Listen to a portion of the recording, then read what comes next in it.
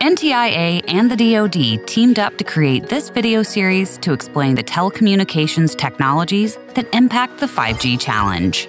This video compares standalone 5G systems with non standalone 5G systems. We highlight the differences between the two, potential impacts, and trade offs.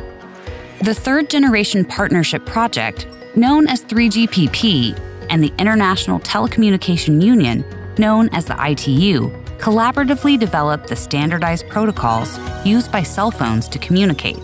3GPP members are regional standard setting organizations and industry representatives. 3GPP develops technical standards that include hundreds of detailed specifications for different components of the network.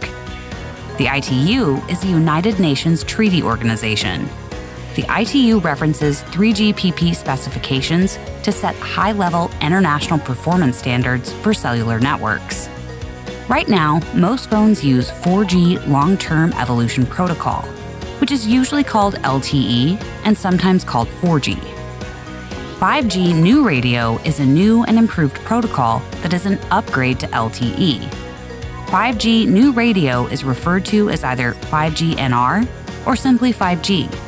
Compared to 4G, 5G offers a variety of improvements, like lower latency, higher throughput, and communication protocol enhancements. 5G networks enable diverse communication scenarios with different traffic type requirements, for example, enhanced mobile broadband enables high bandwidth video streaming.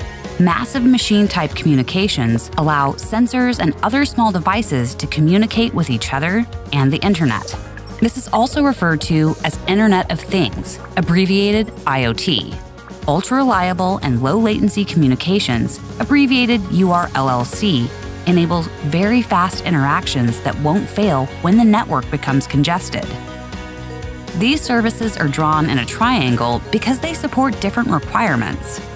Network resources must be divided among these three scenarios. The location of each service on the triangle indicates its traffic requirements. 5G provides flexibility to optimize the network for specific end user requirements. For example, self driving cars will rely on information streaming from nearby devices to safely navigate.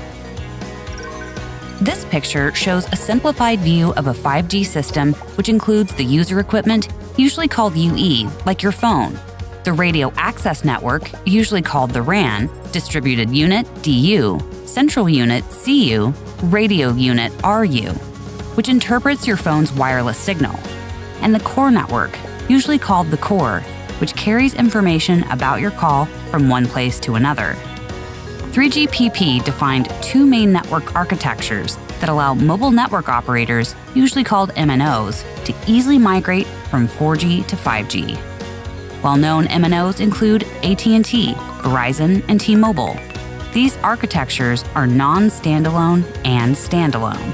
Non-standalone, usually called NSA, is a hybrid 4G 5G solution. NSA enhances the 4G RAN network with support for 5G phones. NSA is a logical first step for MNOs with existing 4G networks to introduce 5G support while maximizing their existing 4G investments.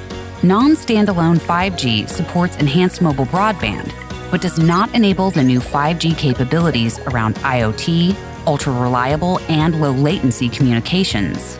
Standalone, usually called SA, is a pure 5G a 5G core network integrated with 5G RAN and 5G phones.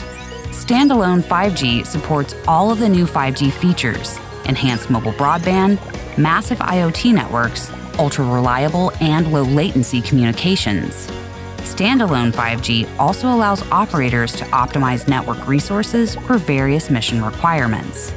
In 2022, when mobile network operators advertise 5G capabilities, they usually refer to non standalone 5G networks that rely on pre existing 4G LTE infrastructure. Standalone 5G network testing and deployment has just begun and is expected to accelerate in 2023. The 5G Challenge will focus on standalone 5G networks to accelerate the adoption of 5G open interfaces, inoperable components, and multi vendor solutions by fostering a large, vibrant, and growing vendor community dedicated to advancing 5G interoperability towards true plug and play operation.